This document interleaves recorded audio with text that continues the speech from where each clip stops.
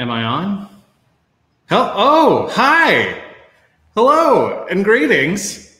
Welcome to a brand new episode, as well as uh, what it feels like, and maybe therefore is, a whole new season of this program, VGA Fireside. I am your host and the VGA Director of Exhibitions, Chaz Evans, coming to you live from a cozy place that, in fact, has a fireplace in it, making the title of this show just a little bit more literal, even though there's no fire inside because that would burn the house down. We don't want that. But I've successfully moved out of my uh, unfinished basement. It was very cold, and I'm here to keep things warm with uh, lively conversation uh, and questions with artists who make video games. Before we begin, as always, we have uh, many thank yous uh, to put out there into the world, and I'll start them now. We want to thank producer and director of operations for VGA, Bryce Poles.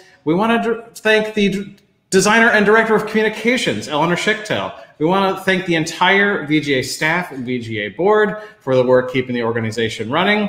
And we want to thank the Independent Game Designers Association Chicago chapter. Thank you, Ross, for helping spread the word. Uh, student groups who have joined us in the past and perhaps are uh, joining us today, we want to uh, say hello to. Hello to the Media Arts and Game Design module uh, at Northwestern University. We want to thank uh, the DePaul game development uh, students. thanks to Caleb for helping spread the word. we want to thank Electric Mirrors for the intro music that you just enjoyed while waiting for me to appear on screen. And we want to thank the Oldham Music Center Youth Brass Band for the fanfare you're about to hear in a little bit. Before we begin, though, I want to, you to know that if you if there are any organizations or groups that would be interested in this kind of program where we talk live to people who make video games and tell their stories and the secrets behind their work, uh, please drop us a line at info at vgagallery.org. We would love to hear from you. Uh, and so, without any further ado, Bryce, please hit us with the opening fanfare.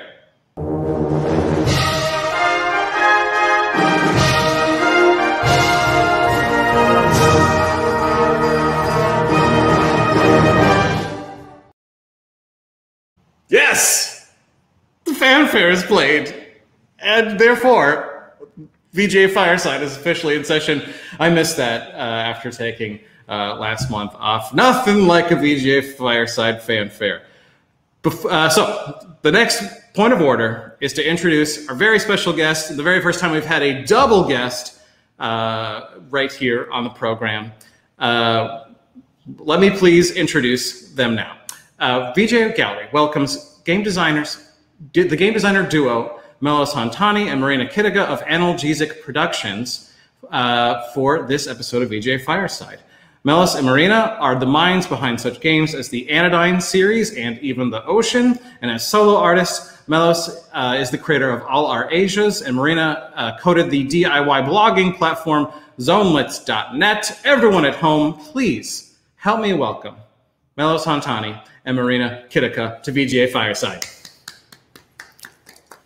Yay. Thank you, Chaz. Hi. Hi. Hi, everyone. Hi. Greetings. Hello. How are you doing? Good. Uh, Doing all right. Very hot. Very hot in Tokyo too. That's right. Uh, Hello. Oh, I was just chat.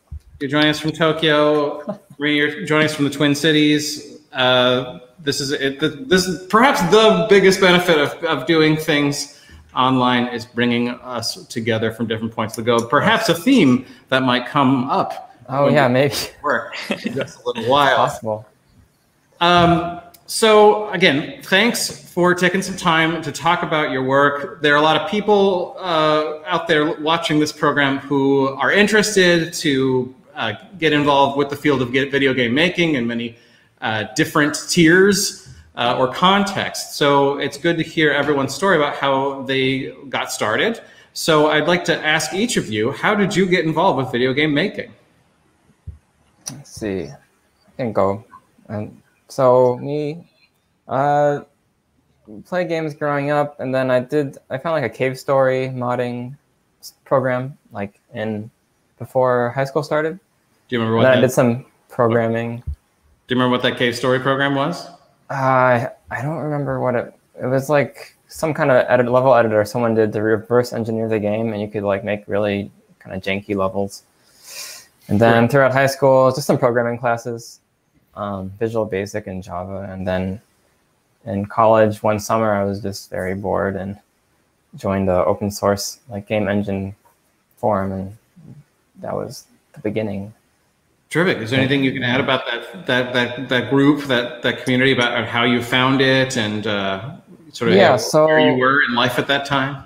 That was made by it was the engine was Flixel. It was an ActionScript 3, and if you know Adam Saltsman, who now works at Finji on Overland and stuff, um, he was the one who made that engine, and it had a pretty active community for maybe a, a couple of years, um, before I guess fading out to like Game Maker and uh, a different version of the engine. Um, but it was just good because most people didn't really know how to make games, so everyone was just kind of like asking, "How how do I make a spike tile or some basic game thing?" And that was just good for like trying different things out. And then whenever there, there was a game jam, like uh, Ludum Dare, I always feel weird saying it that way. Uh, that was good because everyone would make their games, and then you could talk and ask people, "Oh, how did you do this?" or "How did you do that?" So that was a good way to kind of build some programming design intuition. Can I follow up? Is that because your instincts is to say Ludum Dare, but it's supposed to be Dare? Yeah, it's supposed to be Dare, but I don't know. It's like How often is it actually vocalized? Is it mostly just seen on a web page? it's mostly just seen. Yeah. Yeah, that's why you you sort of doubt yourself every time you need to actually pronounce it. Uh, okay, so so a community that had a specific tool, and you know there were you know sort of uh, just kind of specific questions that that got people talking to each other, as well as a game jam like Ludum Dare. Uh, that that got things started for you. Uh, uh, what was the, the, the next part of the story, or maybe we could, if we, we're trying to take this like a screenwriter, take us up to the point where you meet Marina, and then we can like cut and media res back to the beginning. Uh, story. yeah, so I spent about a year kind of just making small games, game jam games, or just experiments during college, and then I made a kind of a long platformer called um, Inspiration Dave. You can look it up if you want. You can still play it on Newgrounds. Um, maybe I will. um, and I got some like sponsorship money from some Flash Portal, if you remember that stuff.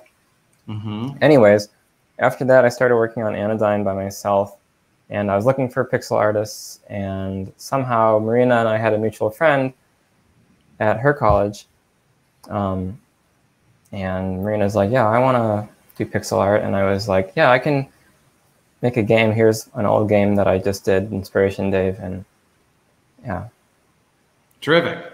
So that brings us to Marina. Would you mind also sharing your story? Uh, we could ratchet back to to the beginning. Where do you feel uh, it is that, that got you started uh, working as a video game artist? Sure. Um, so I usually frame it as when I was young, I played video games, and my older brother and I, like, you know, we'd get a new video game every once in a while, but we were like, oh, we really want to play more games. So when we got the internet, we were like searching the internet for free games to play. Um, and a lot of the time, where that led us was like game developer communities making games, and those were the ones that were just like free things that you could find and download. Um, and so the two major ones for me growing up were uh, the early game maker scene, uh, gamemakergames.com. I would always be checking. Um, and like Mark Overmars' site, who was the original creator of Game Maker. Um, and then the other one was the OHR RPG CE, which was a um, RPG maker that was like originally like DOS based and had a pretty, I think it's a small but fairly vibrant community of people uh, making. A lot of them were really like sort of weird or joke games, um, Mhm. but definitely like a lot of energy and a lot of people who really wanted to make grand projects. Um, what kind of aesthetic does the did this uh, DOS based RPG maker typically uh, put out?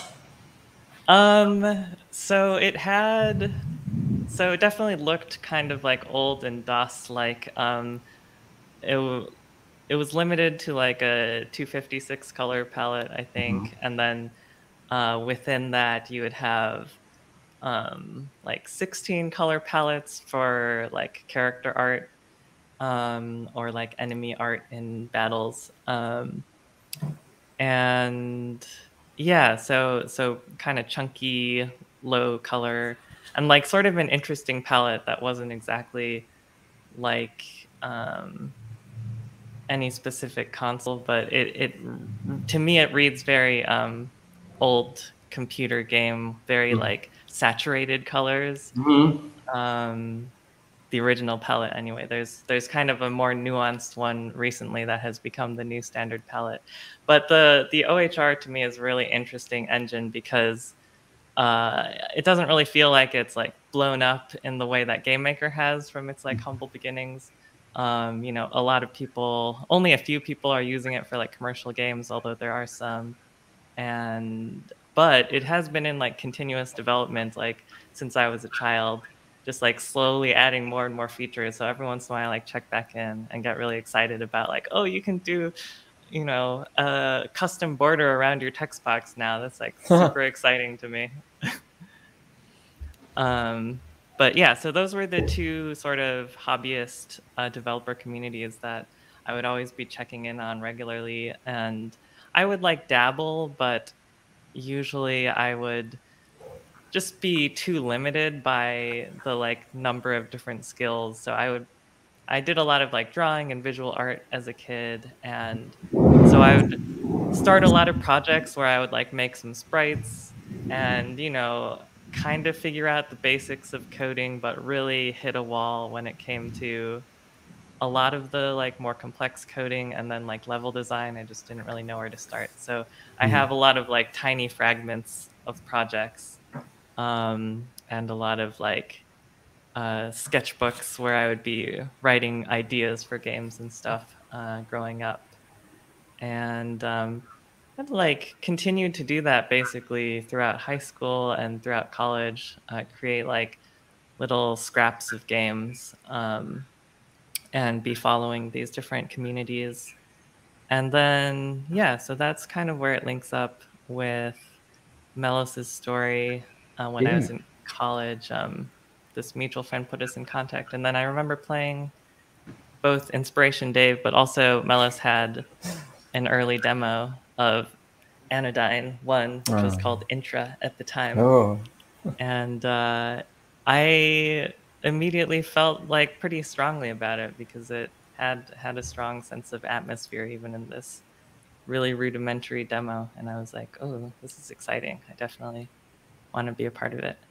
Terrific. So you have been working on games and uh, things that go into games for some time. Uh, had not yet found uh, perhaps the long-term collaboration. Uh, you're both in college.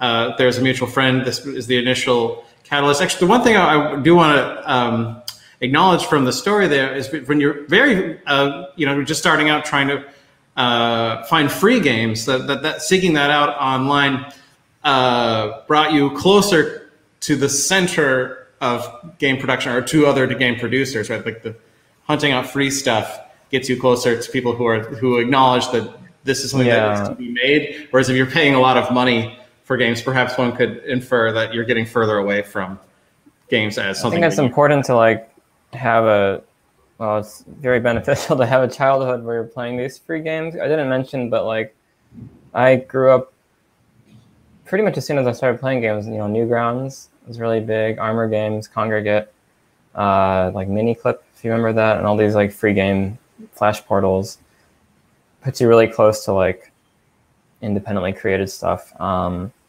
and then the indie games blog, like circa 2008, 9, and 10 that surfaced a lot of like good curated kind of indie games. Like I played a lot of stuff by um, Maddy Thorson, like uh, I can't remember the names, but like Jumper and stuff Yeah. like that.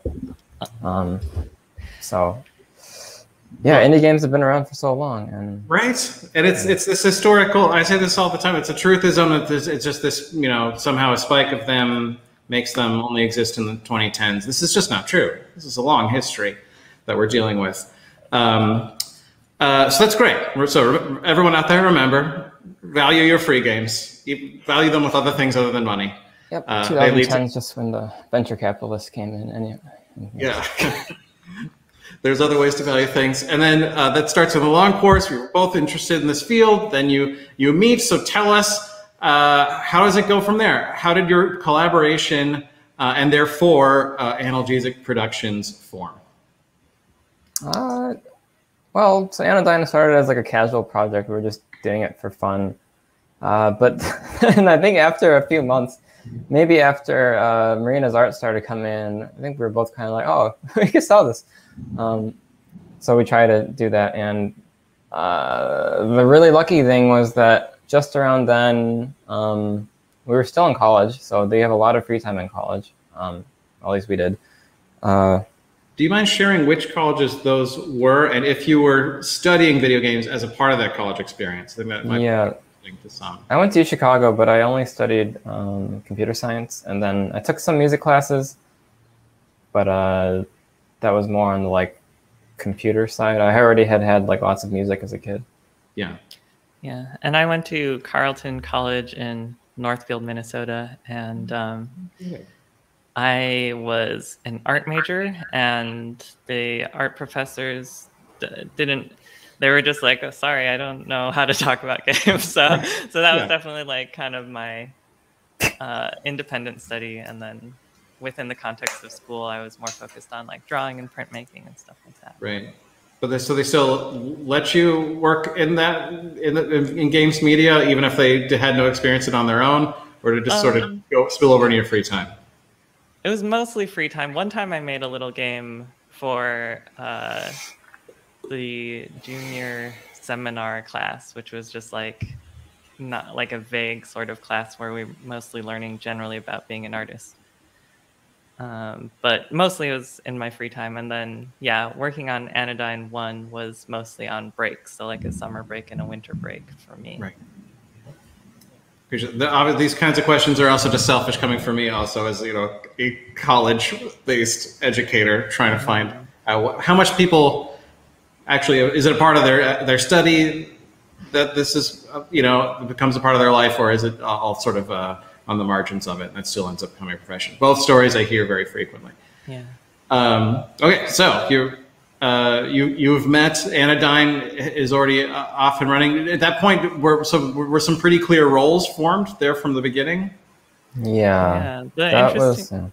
Yeah. Oh, go Oh. Uh, the way, yeah, the way it kind of started was was that Melos was just looking for a artist for the pixel art, and so I I feel like it kind of morphed as we started having conversations about the game generally, and just me trying to ask like uh, about what was going on with the decisions in order to like do the art well.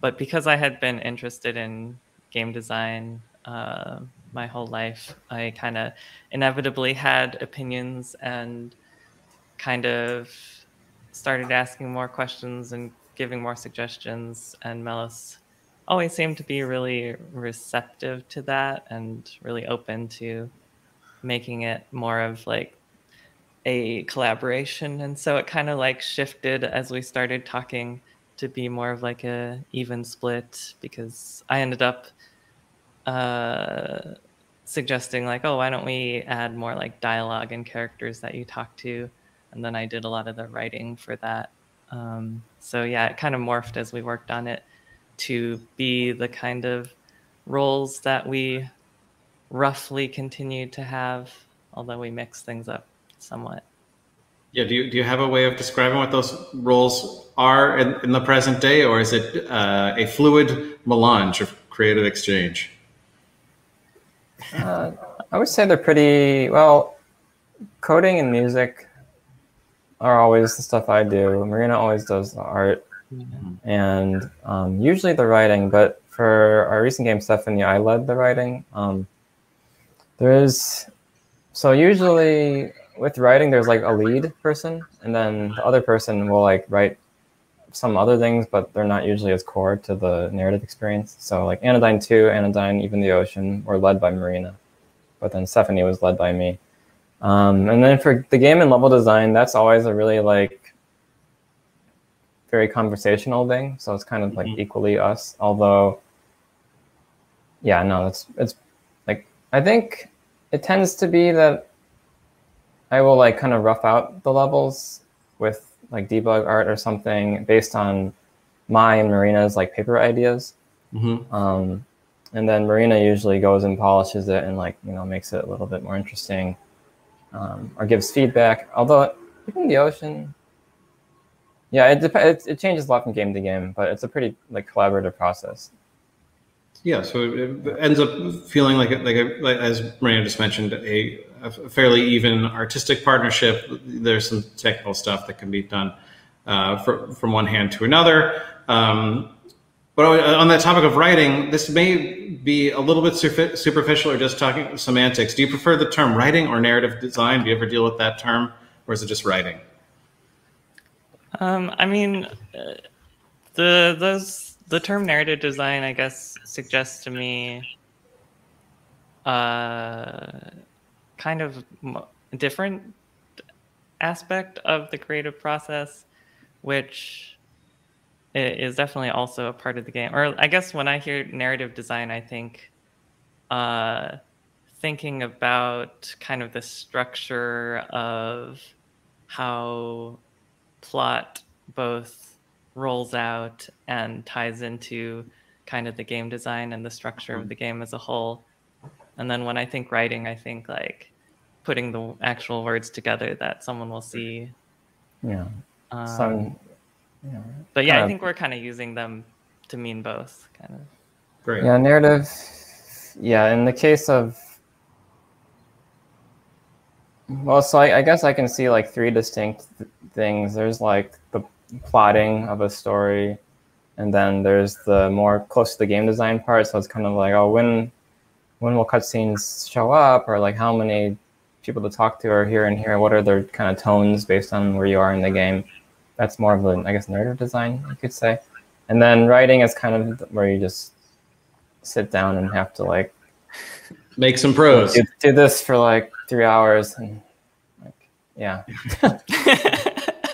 Obviously, there, there's overlap, but yeah, it, it is interesting how these terms lead us in different directions when you use them.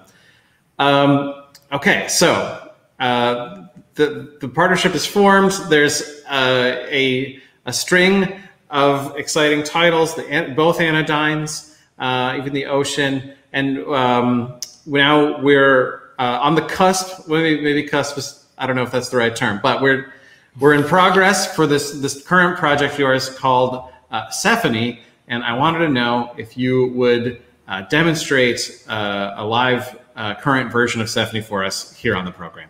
Yes, I can do that. Um, I was thinking that maybe Marina can narrate a bit Sure. Well, I'm okay. That probably worked the best. It's just probably the best reason to have two guests, uh, so that one yeah. person can display and the other person can. I will do now share my screen. Yeah, this will be audio. like um, like GDQ.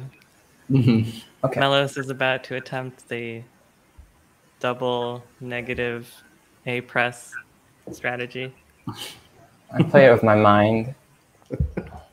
Okay. Um, Sephonie. So yeah, describe where we are uh, and what's happening. Yeah, we're kind of in this reddish hued, uh, big open cave area. This is one of the first um, layer. You kind of go down deeper into the layers of the cave as you progress through the game, and so this is one of the first layers of the cave that you get into. And there's kind of um, rocky spires and twisting shapes that Melos is currently jumping around on. And um, yeah, so one of the interesting things about this game is it's a 3D platformer and we really thought about a lot of different 3D platformers as we were designing the controls for this game and like what you do in it. And really wanted to add some like really interesting and unique ways of moving that kind of change the way that you think about space. So it's less about just, um, you know, moving towards a direction and jumping when you have to jump, and more thinking about how the ways that you move create a language that lets you interpret the shapes in a way that is unique to this game. Um, and so some of the moves that you have to navigate are running on walls, which is very like inspired by um, the like Tony Hawk wall ride move. Classic. Games. Enjoyable. Yeah. And uh, then we also have this uh, dash that kind of teleports you forward in the air a little. And if you do that into a wall, then you get like this sort of bouncing vault where you're able to go higher. And um, we thought, I think this is like a really cool move because the thing with 3D platformers is that depth perception is really tricky in um, 3D games. And so a lot of 3D platformers have to kind of contend with that in some sense. And one of the most straightforward ways of doing that is with like a double jump move. Um, because you're like, oh, you have to like undercorrect or overcorrect because you're trying to figure out what the depth cues are. Um, mm-hmm and that definitely like works it functions as like a game design but it does kind of like flatten the space where you almost have too much control and so the way that you approach most challenges ends up being like kind of the same. Um, and then another way of dealing with it is having like a ledge grab um, where oh i didn't jump far enough but i'm grabbing onto the ledge so i'll be okay. I'll climb up from the ledge. And so this is kind of like a ledge grab, but it's it allows kind of a wider range of things to happen where it's not like you're totally safe. You know, you you still have to like make decisions about when to do the wall vault, and you're still in control of your movement after that. So I think it's a really interesting uh, set of moves for a 3D platformer. Yeah. Let, let me ask a sort of contextualizing question about that idea of movement as language language is you know a, a, communication medium between two parties who do you although those two what the second party could always be the self um, but yeah who do you perceive um, if the player is, is learning the language of movement uh, who who is the other party being communicated with with this new sort of encoded movement language? Yeah um, is it the system of the game or is yeah, it uh, I think I think it's like the level design kind of um, or the game generally, uh, where we create certain ideas that are kind of like asking leading questions in the level design, and people can answer like with a leading question you can answer in the way that uh, you think that the question asker wants you to answer or mm-hmm. you can answer in different ways and knock it off um, course. Yeah. Yeah. Here, uh, there was a question from the audience I missed a little bit ago, which is uh, back to an earlier topic. But uh, someone did want to know how long did it take to make the first Anodyne game?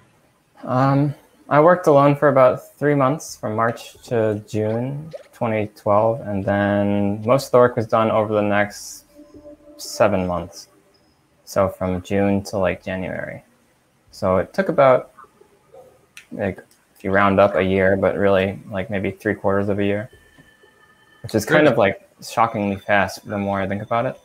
It, I would say, if, of the t- titles discussed on this program, that it's one of the speedier timelines that uh, we've addressed. But it, you know, there are all kinds of different games. Yeah, and all there's a lot of like lucky reasons as to why that was the case, why it was so fast. Um, but uh, actually going to that, people are interested. Oh well, it's kind of like it's stuff that we kind of lucked into almost. Is like the fact that it was tiled, like pixel art, makes things a lot faster, and the top-down perspective limits kind of how much things can blow up, and also the design language we borrowed from Zelda meant that we didn't have to like test out a lot of design ideas as much. A lot of those um, design ideas were resolved and also familiar to yeah. the audience. So it was more like, well, there's a lot of things we don't like about Zelda, so let's remove those things, and um, that's a little bit easier of a process. Yeah. Yeah. The other thing is, it was it's just a very particular set of circumstances for me personally. Like, I was, I was like so excited to be working on a game that I felt like would be a completed project. Mm-hmm. Um, after you know like spending my whole life wanting to do that uh, and so i worked on it like kind of like feverishly in a way that i don't think i could like ever really work on a game again because it would just be like way too much work. Right. Perhaps perhaps should not work in such a way ever again. Yeah but yeah. you know i was like young and excited and it worked for for that stretch of time kind of. Yeah. Uh, but yeah, uh, burnout and and uh, even um, well, put it, put it in a sort of negative context, exploitation of the self or other topics we've talked about on this program, like keeping keeping that balanced and healthy. Um, when if you don't quite have the bandwidth, but it's good that that that did um, work out in this, the case of Anodyne. But I guess I wanted to put the same question. Now that that was one game, uh, nearly a, almost a decade ago, uh, and now we're working on this game. How does yeah. it compare as far as timeline is concerned, and as far as like uh, the the veracity of, of, of labor? Um, well, it's there's a lot more work. I would say that this game is maybe three times as much work as Anodyne One, but um, it was Corona, so that made things kind of hard and depressing to work for a while. Yeah. Um, other things are pressing based on the state of the world. And also, we're just older, so I feel like I just work a little bit slower now. Um, but I think we're a lot more efficient than something like Even the Ocean. Like, we're pretty good about knowing when to like cut back and how to like preserve the core of what's important. Um, I would say, yeah, I'd say it's a pretty good development overall. I think maybe uh, the game is good itself, but maybe there was too much stuff in too many different systems in the game. It takes a while to do. Uh, I think prototyping could have been a little bit faster. I feel like I learned a lot about like just prototyping from working on this, um, and kind of like when to know that you're planning too many things without. Oh well, okay. It'll be easier if I kind of like show this example. This is a good segue into the other main part of the game, which is um, well, the linking part of it. Yeah, I w- did want to ask about character switching, how you were doing that in real time, but also how this sort of uh, plays out also conceptually in the game. Yeah, so uh, the so this game kind of has three elements to it. You know, the exploration that we were just talking about, um, the story narrative elements to it, and then this linking system that you're seeing right now. So the uh, the gist of the story, oh, one of the gist of the story, is that you're connecting with these creatures around the island, um, of the caves underneath this like uninhabited island, and you're using this like special technology to sort of like link with them, and that mm-hmm. kind of creates, um, well, anyways, it's a way to sort of study them as animals and creatures, and it takes place in this like very simple like puzzle game where you're just trying to create these large regions of one color, mm-hmm. and then mm-hmm. fill this bar at the very top, which uh, it'll go up as I place pieces. Um, so you're both anyway, studying. I can talk more as I. It's hard to talk and play this. you're yeah, studying the creatures, but also trying to bond with them. Yeah. So the idea is kind of that you're these. Uh, the the main characters are three biologists um, who are sent to test out this kind of uh, futuristic implant technology called Onyx. Um, and that's what allows you to sort of psychically connect to these creatures as a way of kind of like understanding their biology and behaviors. Um, and so this like little puzzle game is like a metaphor for that kind of research process and kind of trying to understand and connect with a an ecosystem or a species or whatever. Yeah, So and the- yeah. Oh. Then there's a kind of shift between yeah, both studying and being a part of it, seeing your own place inside the system.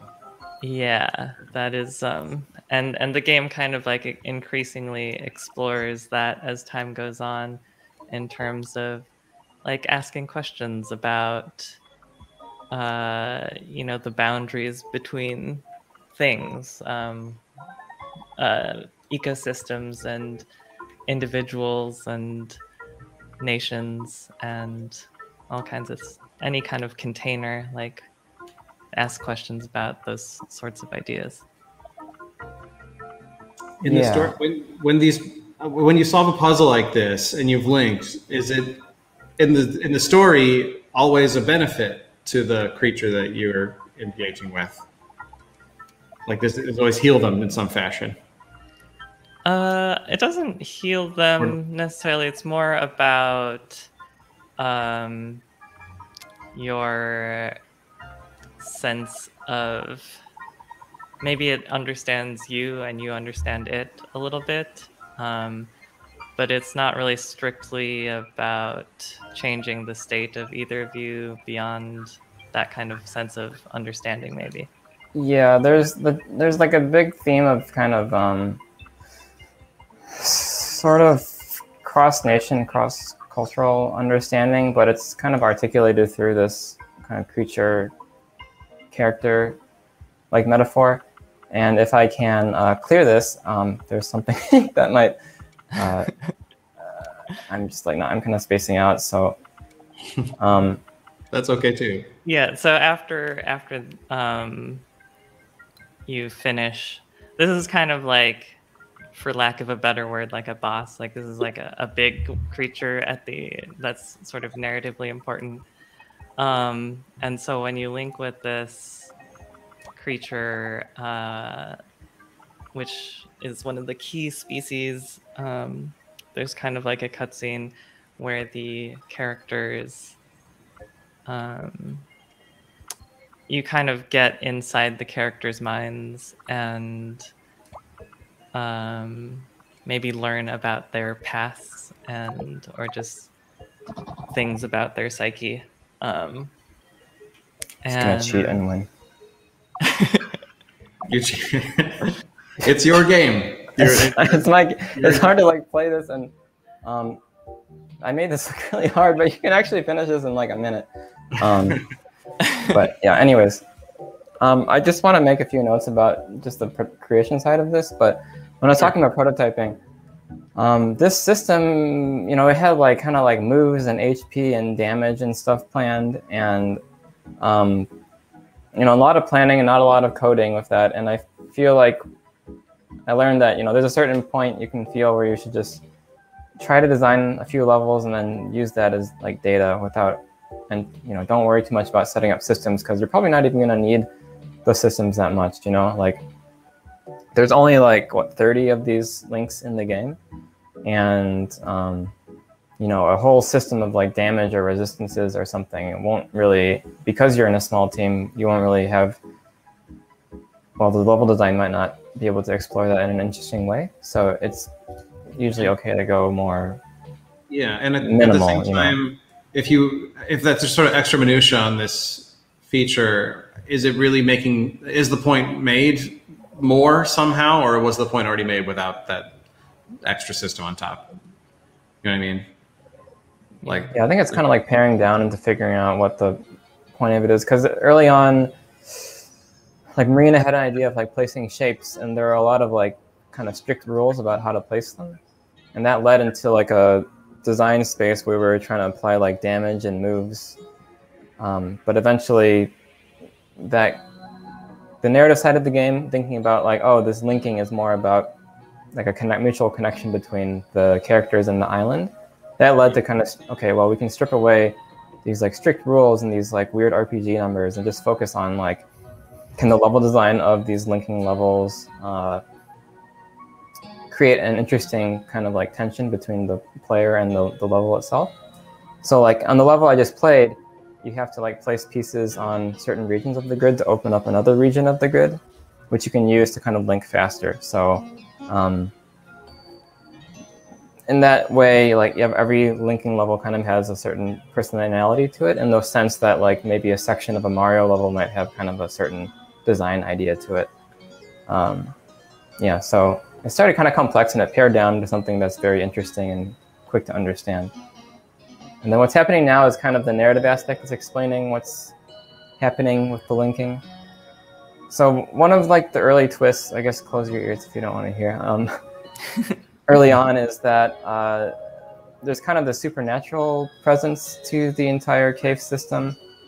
And that character's relation to the trio of humans is this is hard to talk about while playing. Maybe I know there was an interesting comment that that came through that uh, there was a, sort of thematic resonance between the languages movement uh, part of the game and uh, the communicating uh, with the ecosystem through language of Onyx. D- different ways of, of communication, uh, borders being communicated across the, the these the, uh, just a recognition. There's some sort of resonances across the game in this way.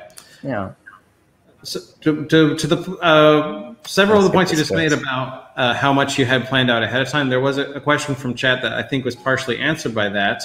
Uh, but the question was, do you usually have an entire game thought out on paper uh, before starting development, uh, or does the development evolve over time? It sounds like from what we were talking about earlier, the answer is there's just a few chunks that are thought out ahead of time, and, and then you start to get, get to practical work. Yeah. Yeah. I would say we don't really yeah. Well, yeah, we we do we do have a lot of conversations about like kind of what could happen and then as we start with the things that we're more sure about uh the sort of things we're less sure about one will become more clearly the way to go than another or certain things uh, sometimes we'll just get like tired of working and be like, what should we cut? And then we kind of like figure out what the most vital things are and cut the things that are less vital or but certainly things change um, as you, we're making them. Yeah, like I guess for this game, the plot. So I had an initial like plot after we discussed a bit, and then we kind of figured out the Onyx linking, like a base, like working prototype of it. And then we worked on the movement system a bit. And then from when those two things were in place, the Onyx linking and the movement system, that's enough to build a game without words on its own, right? And so from there, the plot went under. Wait, wait, wait. I can't remember now. But I know at some point, um, Marina helped revise the entire plot. And then I wrote a draft, and then Marina helped revise that draft. Um, but I think that final revision was after linking and stuff was in. So I feel like there's just some decisions that are hard to make before you have kind of a sense of what the game is like to play. Yeah. Um, and then as you, wait, I'll keep moving around. I think we're basically done. Done? Yeah. Okay. Yeah. If also, if, if, we don't need to to, to tax your uh, game playing side of your mind also while yeah. uh, trying to field questions as we have been doing. You yeah. should only have to do that for so long. Um, so I guess to, to, to, wrap up though, I did. There's one question that uh, about the game uh, and themes within it that I wanted to, to sort of uh, touch on before we move on to some other uh, questions. And if there are any other questions from the audience, please send them on over. Uh, we like we love the, uh, questions from the audience. But the for, you know even from the trailer of Sephonie, we've got these three characters. You mentioned they're all biologists. Uh, and even in the trailer, they are from you know specific non-fictional locations across the globe. And the island of Sephonie, I believe, is a fictional island. Right? Yes. I'm not wrong in assuming that. Um, and so it, the, the, the, sort of yeah diegetic fiction, fiction world bringing together uh, a sort of diasporic uh, uh, group of people um, that are rooted in the, the, nonfiction world is, is it just it's very uh, upfront, like in the in the way the game is presented, and I sort of wanted to know more about that. Um, and if yeah, there is a, sort of use of, of the video games themselves, you know, as this uh, kind of phys- physicalization or visualization of those connections that are, are sometimes only felt. Yeah, well, so the nice thing about games, well, at least what makes them unique from like writing a novel about something, um, is that kind of the places, the settings you have in the game, um, the uh, the player's like relationship to exploring those also kind of translates to how the words they read kind of filter through their brain. Um, in a way, this is a little bit too theoretical for this. Um, but as an example, uh, it's also spoilers. Close your ears if you don't want to hear. It. But later on in the game, so this kind of the main spatial twist of the game is that uh, the back half of the game areas are very based on places from these trios' life. So it's actually like you know um, a level based on like a city, that kind of stuff. Mm-hmm. Uh, and you get there after you've kind of gone through a few of those like longer cutscenes you just saw at the end of the demo, and gotten to know a little bit about the the trio and like their the situation they're in. Um, and so by the point you've reached that you know you're a little bit invested in the characters, and now you're getting to see kind of the deeper uh, side and history to them, and seeing those kinds of words and those kinds of spaces, I think those are um, useful in how the ending and the kind of overall like um, topic of the plot plays out. So now that you've thought about these characters, you know, backstories and their relations to these places, you can kind of think about, oh, how are they approaching this sort of central uh, conflict that gets presented in the middle of the game. And feeds back into the sort of non-fiction part of what yeah. So it's kind of like a you have that like departure from reality, and then it's like you get a little bit deeper into fantasy, and then you kind of emerge from that. Um, Pull back out of it. Yeah. Yeah. Yeah. Well, um, I really appreciate letting us get, uh, get a look at Sephonie, uh, and that's the current project.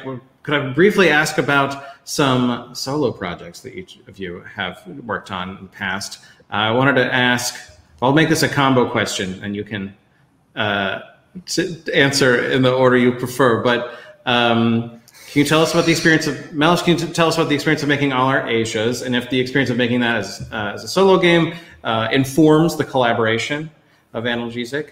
Uh, and similarly, Marina, in your own work, say in the uh, Zonelets uh, DIY blogging platform, uh, does the philosophy and practice behind that also inform what you do with Melos?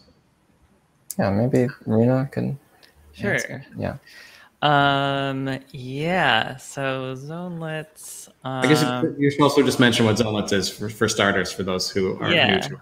Uh, so it's a very, very kind of like scrappy DIY uh, blogging software, which is it's almost just a uh, like a template uh, for a person to make uh, a blog in HTML, and um, much of the work of Zonelets from my end was learn figuring out how I wanted to present kind of this template.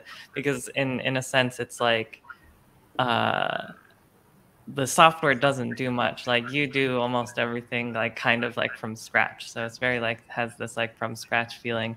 And so uh, I, I think it's fairly accessible uh, even to like non-web developers. Um, and so a lot of the work was creating interesting metaphors and how I wrote about it um, to to convince people that it was in fact not like going to be like too scary to touch or whatever. And, Tarsa thinks so for sure, as you just saw. yeah, and to just like really encourage people to just like try something different and see how they feel about it and maybe like have some some sense of like oh like i kind of understand something different about how the internet works maybe um and so zonelets yeah it's it is um yeah, there's a lot of kind of thought that goes into it. that you can read on the website zonelets.net. I'm kind of trying to like look at the time here, but um, in terms of how it ties into our collaborative work, I yeah I I was it's very much part of the same kind of mindset that I feel like is a lot of the value that we bring to the video game space and the kind of work that we do and the kind of values that we try to embody in our games, which are kind of uh, just having certain priorities around um, focusing on what's really valuable that like two individuals can make and like really leaning into like the hyper specificity of our experiences as people and our skill sets um, rather than trying to match up with kind of like uh, what might be considered the most polished or the most professional or the most like popular um, kind of ways of working. Um, and so I feel like we we try to embody that and try to like create our own context in which the work that we're doing feels whole and feels complete and not just like mm. a worse version of something else that is yeah. that, that exists yeah. that's better because it's higher budget or whatever um, and it's a totally different sense of ownership for both the producer of the blogging platform or game, as it were, and, and those using it than, than say something made in a very large company in California. Uh, there's a well, there's another great question from the audience, but I wanted to uh, turn this the, the, the, that 50-50 question back to. Oh yeah, sure. Um, well, all our Asias. Uh, a few things, I guess. Well, the main, the most obvious one is just that it was kind of testing out 3D coding, learning the basics, so learning camera system, blah, blah, blah. Um, and that, of course, made us more confident to make uh, Anodyne 2. Um, it also informed maybe thoughts about visuals in 3D. So all our Asias doesn't have very good texturing or technical modeling work, but it has um, pretty good art direction and like just kind of setup, visual setups um, that I did. So that got us thinking about, um, you know, what can you borrow from film or theater, other mediums, and um, in the hands of an actual visual artist, you know, what can we what can we do? And from the narrative side, uh, I guess my interest in kind of tying in together themes about history and um, sometimes Asia in particular, uh, that just kind of gave more confidence on the writing side for me. Um, even yeah. So yeah, I guess it's just yeah, building skills. Yeah, so it's not just about putting the thing out. You're making sure you're sort of taking something away from the experience that you'll carry with you for yeah. future projects. So let's. We have a little time left. We and I think we could use it to uh, field some other terrific questions from our audience. Uh, first of all, someone asks, "What are some influences both of you both you both carried into the making of Sephonie?" Uh, in particular, particular uh, Marina, I know you've mentioned reading Braiding Sweetgrass before. That's the question asker, not me. Uh, and I noticed a lot of thematic resonances when playing the Ceph demo. So, yeah, are there any connections to Braiding Sweetgrass you'd like to address, or any other influences leading up to Sephonie? I actually haven't read it. Um, I was uh, I suggested it um, because it's um, another friend of ours was uh, asking for games about. I mean, for books that had to do with like kind of the land or geography in an interesting sense um, because they were exploring stuff like that in games and a lot of thought around games and geography is sort of very like colonial um, so yeah but that was just from my general understanding of what braiding sweetgrass was and i haven't read it yet but um, that's very interesting i should read it um, i should um, too I, I hear it's terrific And my spouse has read it. It's sitting in our room, and I've not read it yet. But I, have got to get around to that. It's on the list. But yeah, uh, do you have any thoughts off the top of your head, Melos, about uh, Sephonie influences? Influences uh, making Sephonie. Um, a lot of just like nonfiction reading about the history of like Taiwan and Japan and stuff like that. Uh, like uh, lived experience, just thinking about a lot of different types of Asian people that I know and their like relations to their country and stuff like that. Um, uh, spatially, a lot of the thought I put into like games like Dark Souls or Anodyne 2, those kinds of things are big influences on how we approach like level design and deciding on what places that are going to go in the game. Um, Marina gave me some really good references for writing. Uh, shoot, the Amazon worker book. What was that called? Um, oh, Marina froze. Uh, mm-hmm. Seasonal Associate. Anyways, it's a second person kind of narrative about someone working at Amazon and has a really interesting kind of second person tone. Um, and Maria suggested that, and it was useful for kind of figuring out the style of some aspects of Sephonie, uh, like kind of this way of shortcut to an emotional connection by using a lot of you and kind of some stream of consciousness consciousness stuff. Uh, yeah, there's a lot more I could think of if we had more time, um, but there's a few more questions. There's a little more time, and there's a couple more questions. Marina seems still is Marina still frozen to you, Melos? Yes, Marina's frozen. Okay. Well, hopefully, the carbonite will unfreeze. We'll have Marina um, back. Um, so yeah, uh, I guess this is a related question, and maybe would tie into those um, influences. I guess it's when you're influenced, then you have output, and then you make new artistic choices. Uh, what are the sort of distinctly new things artistically that you're uh, trying to explore with Sephonie? Uh, not really tried in the earlier projects. That it's like to, this is the time we have to try this out Sephonie. I guess I'm more. Oh, who just texted me? Oh, Marina's internet died. No, that's terrible. Too bad. We had a really great question from the audience that I was very much looking forward to uh, asking. I'll, I'll, text her for that one. Hold on. Um, what's yeah. the answer to? How did you become the queen of puns? To queen of puns. Let's see if she. We'll get that. Um, Thank you. New, art- new artistic things. Oh, that's something I would have to think about too, uh, because there's a different. There's every single aspect of the game, you know, has a kind of an answer for that. Oh, Marina's back. Okay. Um, My internet just zonked out for a second. Did you get the specific, the question specifically uh, directed to you through text, or should I ask it again? uh, wait, which question? Oh, Queen of Puns. How did you become the Queen of Puns, Marina? Uh, the audience I, wants to know. I kind of feel like, I mean, I just like puns. I I I, I like jokes and um, but part of it was definitely I feel like I was really sheltered, and so when I went to high school and I wanted to like join in on conversations, but I had no context for anything, so I would just make puns and it, it could be a joke about what was happening, even though I didn't know what anyone was talking about. and that's, and that's how you win friends and influence people. yeah. Just a series of puns. puns. Yeah. I'm gonna learn puns one day, but um, I think you perhaps have a competition. Upon competition with super producer Bryce, I know is also a, a, a pun smith of sorts. Uh, um, should we answer the the artistic question or wrap? Sure. Yeah. Let's, let's, I mean, I have time, so I can. I don't know. It's up to we can, we can push a little bit. Yeah. let's right. let's let's let's definitely address that. What were the sort of new artistic goals that you're trying to explore for the project, and then we'll wrap up. Uh, I think there's. Uh, I mean, one one thing is that it's.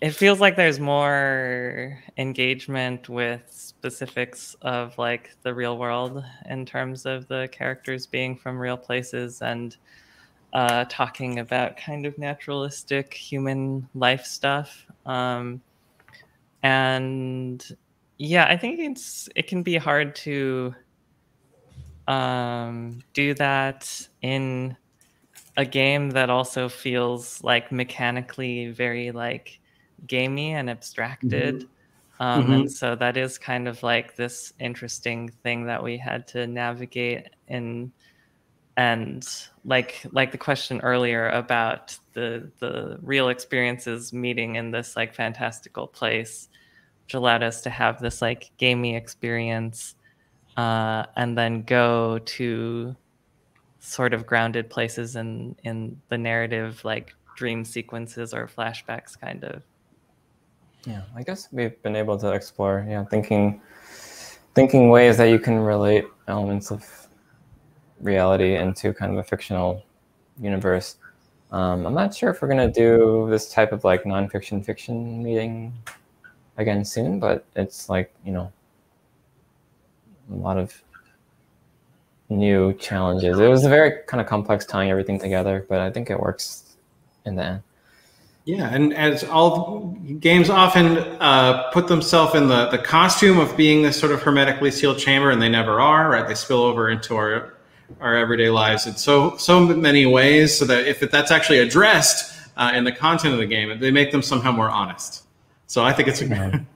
terrific direction uh, that makes the the project as thematically rich as it is aesthetically beautiful. And I'm so glad that you got to uh, share it with us, play with us, and talk about it uh, with the audience today. And uh, myself and everyone on the stream, I'm sure, can't wait to play it. Uh, and we're we can anticipate being able to do so when later this mm, year, hopefully later this year, perhaps. This, yeah, maybe like we've been saying Q4. I mean, it's kind of like there's just a lot of miscellaneous stuff and testing left, so it's hard to like put a good time on that. Yes.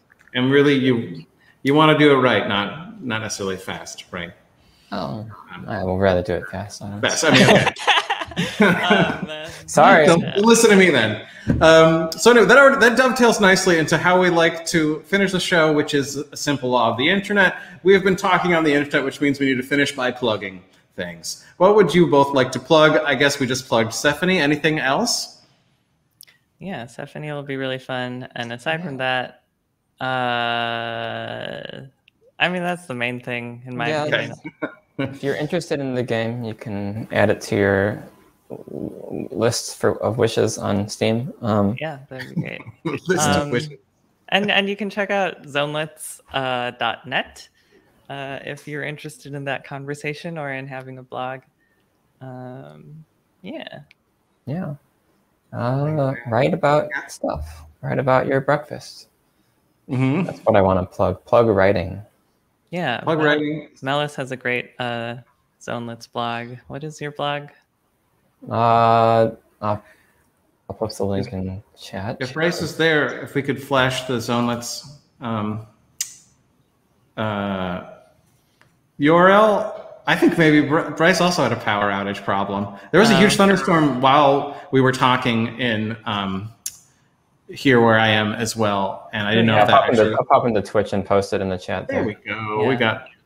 And then okay. my blog is marinakittaka.com, oh, and my blog uh, has a lot of stuff related, posts related to stuff that we talked about here. Um, I haven't written on it lately because I'm just tired and focusing on different things in life right now. But I'm sure, sure I'll get back to writing when I have some ideas. Terrific. So yes, please check out oh, this blog. Melos's blog, actually, but yeah. There's there's writing to enjoy in addition to video games. Uh, there's some of the writings about games, sometimes about other things. Get out there and read some writing. Shout out to writing.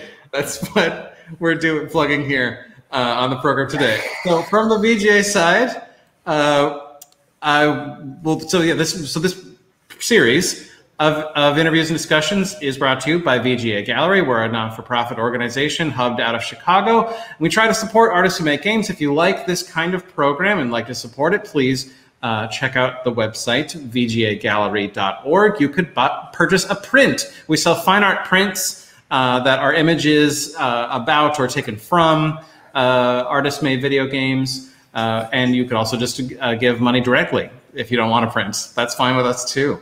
Um, so uh, let's, uh, I gotta get my notes back.